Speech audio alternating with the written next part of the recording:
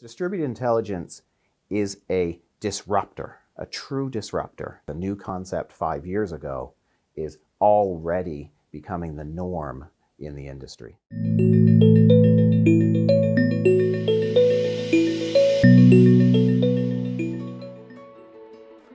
So there are two main drivers for distributed intelligence.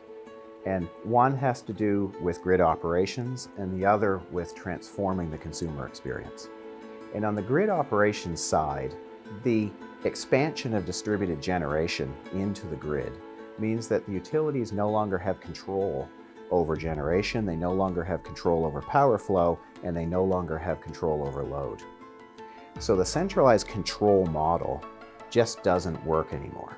And so instead, the distribution grid needs to become a living, breathing organism that is capable of responding in real time to conditions at the edge as they occur to take advantages of opportunities or correct for conditions that need to be corrected.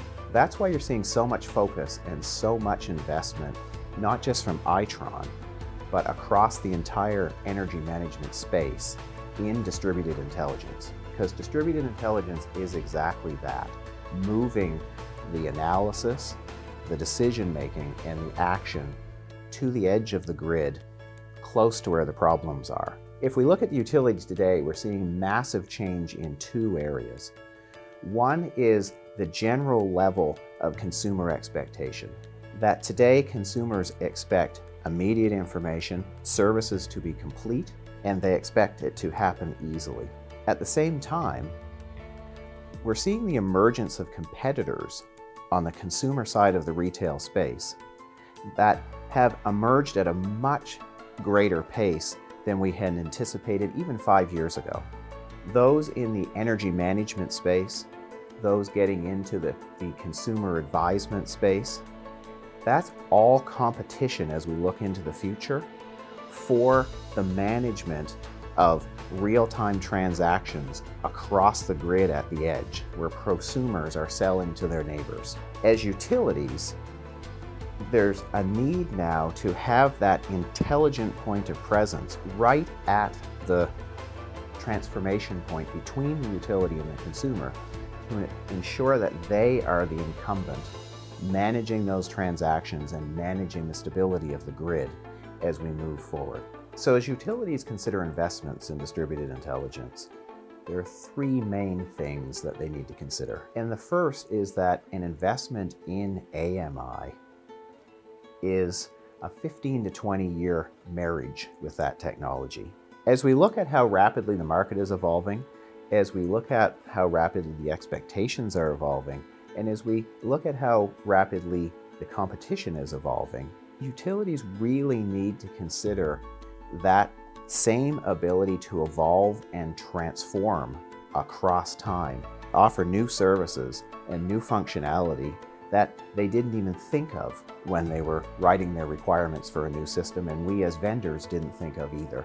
And so it's really important to have a technology in place that can evolve through the app concept at the same rate as the market and the requirements. So the second consideration is not just how does the technology enable that evolution, but how does the implementation of that technology allow that evolution across an ecosystem of solutions. That throwing a bunch of processing power and throwing a bunch of memory into a device does not enable the utility long term to grow and to move as they need to.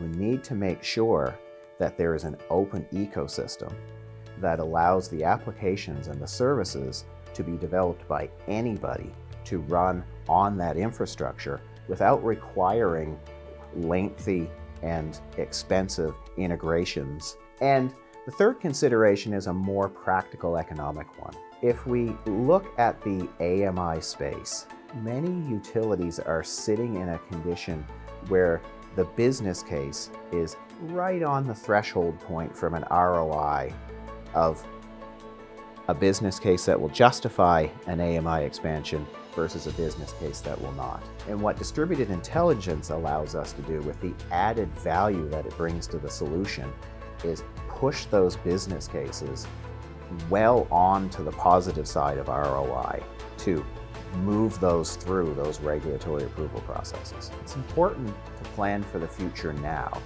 Those who don't plan now will be left behind. Thank you.